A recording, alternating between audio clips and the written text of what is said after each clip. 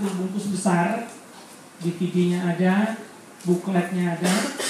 Satu paket buklet itu lengkap semuanya mulai dari alkohol heroin kokain metamfetamin ritalin dan sebagainya itu lengkap. Cuma masalahnya dulu waktu saya bagi ke sekolah-sekolah kendalanya adalah semua dalam bahasa Inggris ya.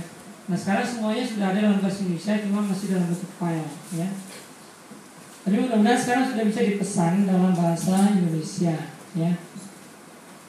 Nah sekarang saya akan ini uh, setelkan beberapa video dan nanti saya akan minta beberapa dari kalian sebagai volunteer untuk memberikan komentar apa yang kalian pahami dari apa yang kalian lihat ya. Karena kita mulai tadi dari yang pertama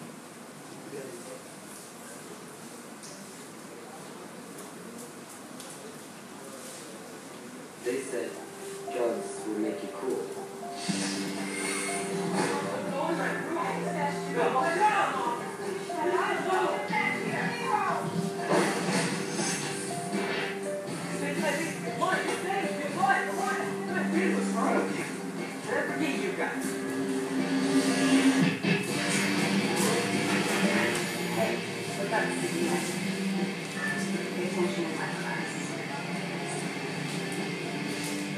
They said drugs would make you cool. They lied. Find out the truth about drugs. Drugfreeworld.org. Nah sekarang sebelum saya panggil Ada nggak mau jadi volunteer Maju ke depan Untuk menyampaikan Apa sih kira-kira yang kalian Setelah melihat video ini Apa yang bisa kalian kasih komentar Saya silakan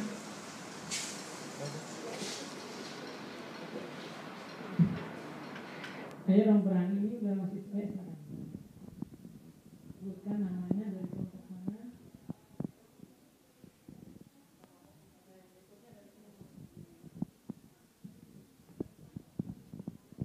Perkenalkan Pak, nama bagus saya Ibu, nama jelek saya Galuh Fitri, saya perwakilan dari sistem kardiovaskular. Komentar saya tentang video tadi adalah menurut saya, kenapa bisa ada remaja yang sampai menggunakan narkoba? Pertama, terlihat tadi dia broken home, berantem sama mamanya. Berarti jelas di situ sudah pendidikan dari orang tuanya itu kurang. Setelah itu lingkungan masyarakatnya, teman-temannya sebaya kayak gitu Pak sehingga membuat tekanan pada hidupnya hidupnya itu tertekan mungkin banyak jadi banyak masalah jadi dia memilih untuk menggunakan barang-barang yang seperti itu terima kasih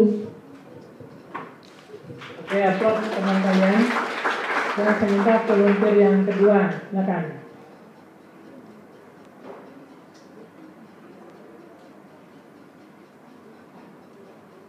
Ayo, pasti orang yang komentar, ya, yang berani. Saya maju.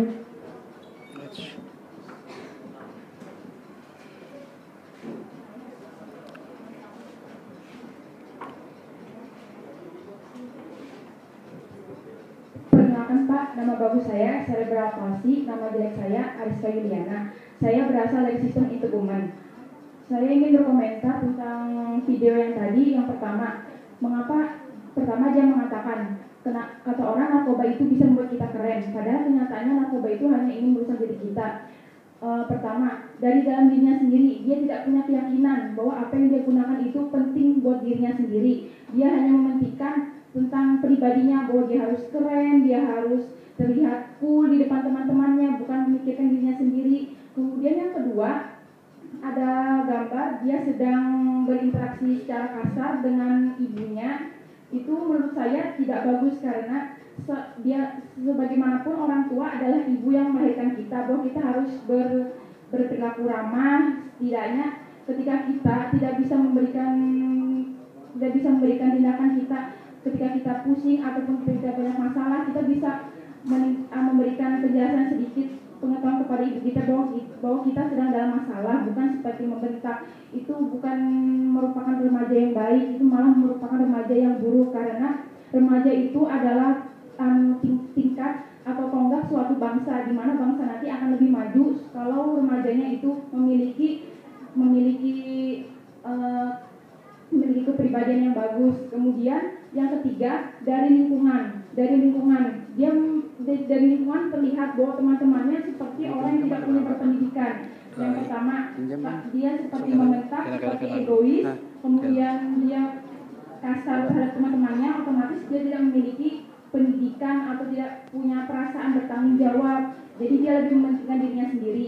Dalam hal pelajaran, dia lebih banyak, dia lebih dia lebih banyak untuk membiarkan karena dia tidak peduli tentang pelajaran apa pun.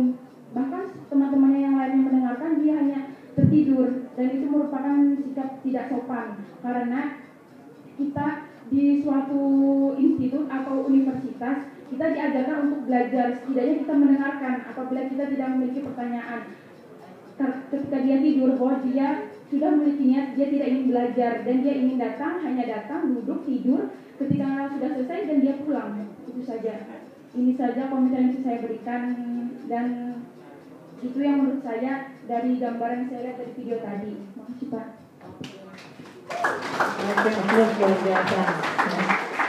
sekarang terakhir yang ketiga, saya ingin minta yang digambarkan tadi kan tadi ada yang mengatakan itu sebagai penyebab, kemudian ada akibat. Kemudian pertanyaan saya adalah mengapa sampai dia melakukan hal-hal seperti itu? Silakan ada yang berani?